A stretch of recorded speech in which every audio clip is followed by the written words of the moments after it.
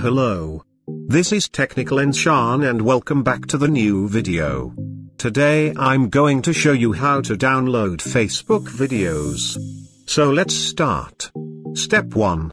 Copy the link of the video you want as download and click on the link in description. Step 2. Open the link and wait for the timer to become zero then click block or allow.